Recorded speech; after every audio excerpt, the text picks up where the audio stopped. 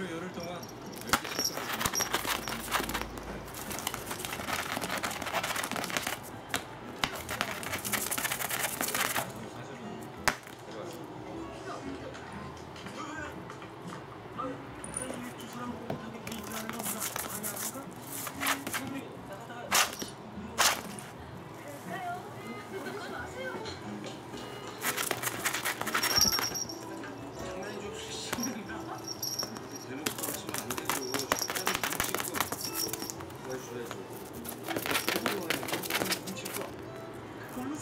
아니에요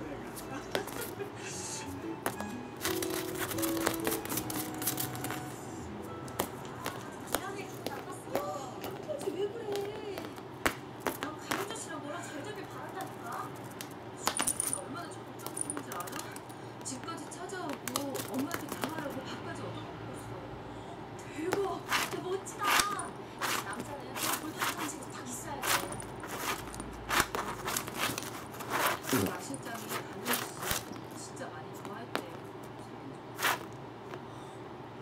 같지 않아?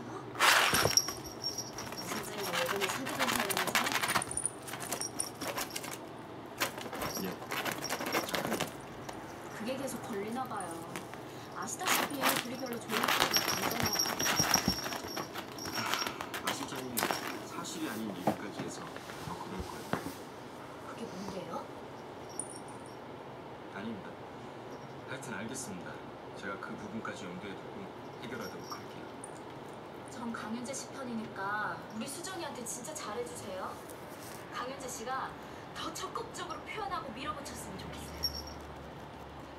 백준 씨는 이수정 씨를 참 많이 생각하네요. 수정이가 이제는 활짝 웃으면서 사랑했으면 좋겠어요. 마음의 상처 다 씻어내버리게. 마음의 상처라니? 네? 아, 아버지 돌아가신 거예요?